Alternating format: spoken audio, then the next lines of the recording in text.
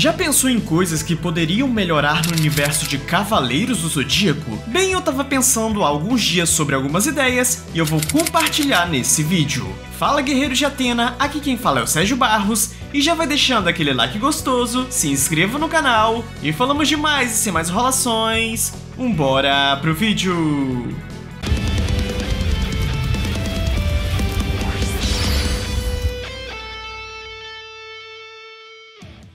A primeira coisa que eu quero destacar é a velocidade, ou melhor, a super velocidade dos cavaleiros. Sinceramente, essa coisa de alcançar a velocidade da luz, em minha sincera opinião, podia tranquilamente ser removida. Até porque o Kurumada não trabalha bem com o conceito de velocidade, por mais irônico que isso pareça, já que os golpes de CDZ giram em torno disso. Em resumo, gente, a velocidade da luz é uma velocidade complicadíssima em se trabalhar em obras usando seu conceito literal. Nem mesmo diversas histórias do Flash usam ela direito. Existem vários erros. A gente perdoa porque são obras fictícias e não usam regras da física de forma 100% correta. Um exemplo é aquele soco de anime que acerta o rosto do personagem X e o soco é capaz de fazer ele voar para longe.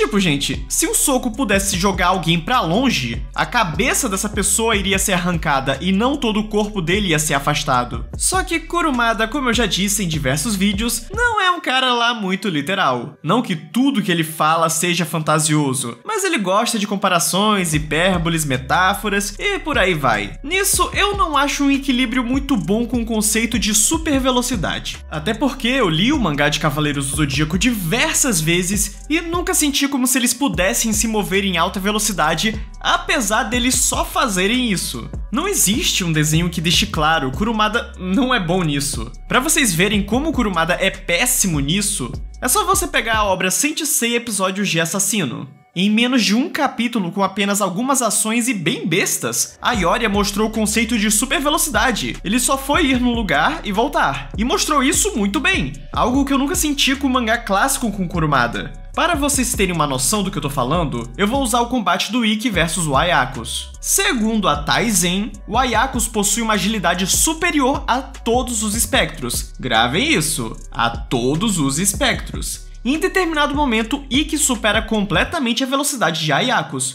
o quanto isso é problemático não existe tamanho. A velocidade base de um cavaleiro de ouro é a velocidade da luz. Se o Ikki consegue superar a velocidade dele, é porque o Ayakus não atinge a velocidade da luz. Isso torna não só ele como os três juízes como inferiores a qualquer cavaleiro de ouro. O que não é verdade. Eles são tão poderosos quanto os dourados, mas o Kurumada criou essa situação sem sentido. Numa batalha entre dois usuários da velocidade da luz, é basicamente a luta de duas pessoas normais, ambas na mesma velocidade. Perde quem vacila praticamente. Só que fica claro que Ikki superou a velocidade de ataque, e é por isso que eu tranquilamente removeria o conceito da velocidade da luz em CDZ. Eu penso simplesmente que todos os personagens só fossem muito rápidos, só que sem citar números. Dessa maneira, essas inconsistências deixariam de existir.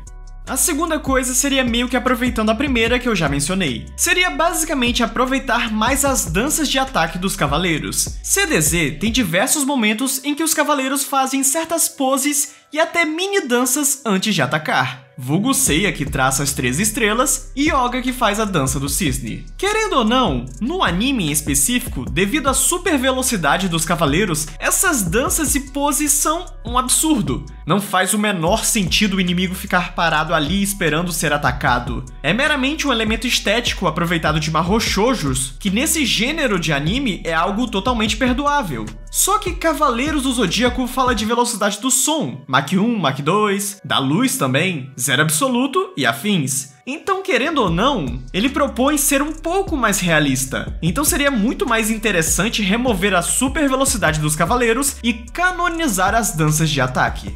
Aí você me pergunta, por que diabos seria melhor as danças do que a super velocidade? Simples, porque seria utilizado isso em favor ou desvantagem em batalhas. Exemplificando, alguns golpes poderiam ser executados sem pose nenhuma, mas eles seriam mais fracos. Aí o ataque que teria pose seria um golpe intermediário e o mais poderoso uma dança, quem sabe? Nisso, o autor teria que criar situações específicas para justificar o personagem usar o ataque X ou Y em situações de batalha. Outra situação que podemos pegar é no filler do Dócrates, em que em um momento de batalha ele ficou meio que carregando o golpe junto do Seiya traçando as três estrelas. Entendemos que no anime aquilo foi puramente para fins estéticos, mas e se fosse algo sério? Seria deveras muito interessante o Dócrates ter aquele ataque roubado e devastador, mas ao mesmo tempo ele tivesse que carregar aquele golpe e isso fosse usado como estratégia para os Bronze Boys. Para vocês entenderem melhor, pensem no anime de Hunter x Hunter. Nele, temos o menino Gon, o protagonista.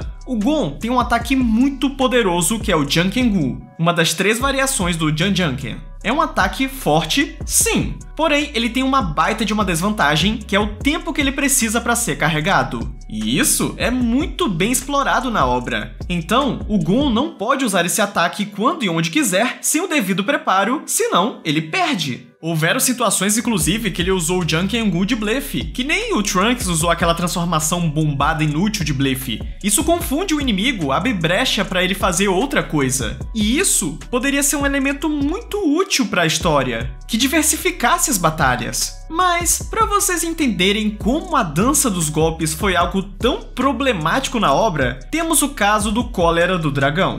O Cólera do Dragão tem um ponto fraco específico que é basicamente o Shiryu abaixando o braço de forma inconsciente para tomar impulso. Gente, esse gesto de abaixar o braço dura um milésimo de segundo. Vou enfatizar, um milésimo de segundo. Então não faz sentido Shiryu ter essa falha grotesca e Seiya e Yoga não ter. Algumas pessoas até vieram comentar comigo que Seiya traça as três estrelas em alta velocidade e a mesma coisa o Yoga, ele dança em super velocidade. Rapaz, mesmo que seja isso, ainda são vários movimentos para se executar em um golpe. Shiryu só abaixa o braço e tem uma exposição gigantesca. Então, imagina o Seiya que tem que fazer 13 movimentos, tipo, cara, não faz o menor sentido. O próprio Yoga ter a necessidade de dançar para lançar o pó de diamante e o Camus executando direto ainda quebra mais isso.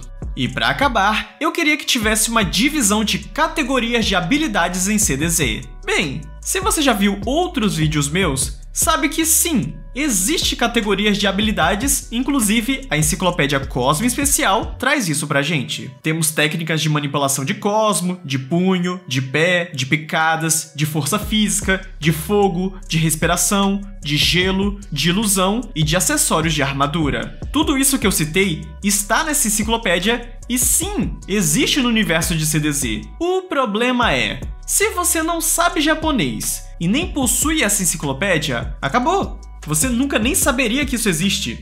E o pior, a aplicação delas em alguns aspectos é meio confuso. Eu acharia interessante essa divisão ser tratada na obra e houvesse vantagens e desvantagens perante outras técnicas. Exemplo: técnica de força física é mais eficiente contra quem usa técnica de respiração. Mesma coisa, fogo e gelo, e isso criaria uma diversidade de batalha maravilhosa. O spin-off Sensei Omega criou o Cosmo Elemental e criou que um elemento tem vantagem sobre o outro. Só que a partir de certo ponto da história isso é esquecido, nunca mais é citado, em resumo, foi largado de mão. Então eu nem conto com isso. E aí, você concorda com o que eu disse? Discorda? Diga aí nos comentários. Eu também vou abrir um post na aba comunidade pedindo para vocês me dizerem o que vocês melhorariam em CDZ e como. Se puderem deixar exemplos e tal, seria maravilhoso.